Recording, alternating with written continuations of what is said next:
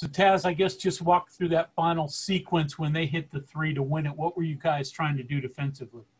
Um, we knew Ramey was try to drive downhill, try to create some type of contact or create a play for somebody else, which he did. Uh, my job on the ball was just try to stay in front of the guy as much as possible and force a tough shot.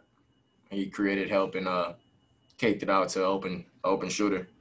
And we we talked about the game plan not to give him step in threes and Andrew Jones he made four five step in threes today and uh he made a big shot when it was uh when they either one.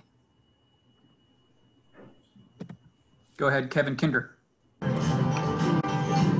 Taz, what did they do well allow them to get to the basket so well? It looked like they had a ton of straight line drives. Like their first seven, eight shots were either right at the rim or dunks.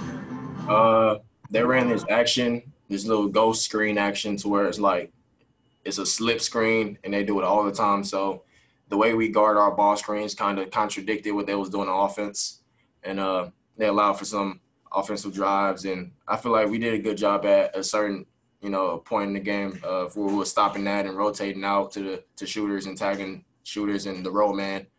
And uh yeah, they just they kept using those ghost screens and little fake screens to get downhill with their guards and they're they, the guards are really good at finishing and also really good at passing out to good shooters. Next is Ryan Pritt. Hey Taz, uh, they put five guys in double figures a day, and that's pretty normal for them. How much does that balance how much more difficult does it make that make to defend that when you know if you leave a guy, he's just as capable of beating you as anybody else is?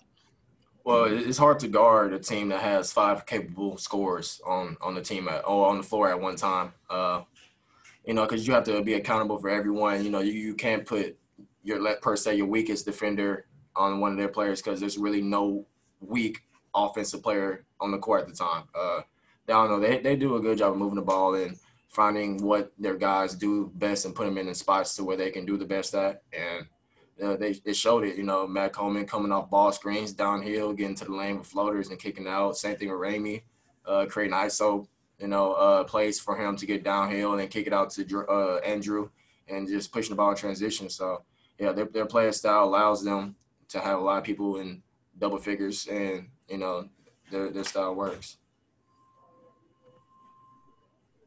Justin Jackson, you're next.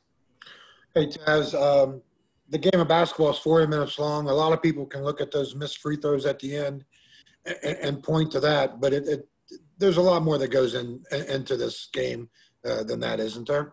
Yes. Uh, we can say, yeah, he missed two free throws, whatever. Yet you got to talk about him getting an offensive rebound.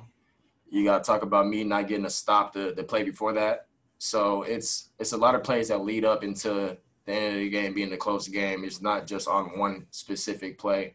Uh, we had a lot of defensive breakdowns and a, lot of offensive like just breakdowns as well. And we wasn't moving that well on offense sometimes. And uh, our defense picked up a little bit in the second half and was you know making them turn the ball over and like force up tough shots. But so it's not on. It's not just one play that changes the game it's a, a, a, multitude of plays. It's an array of plays that change the game. So for all people that just wants to say it's on one play, it's, it's not the case.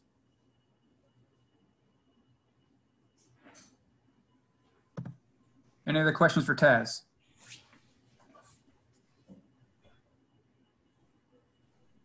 Okay, Taz, thanks for joining us.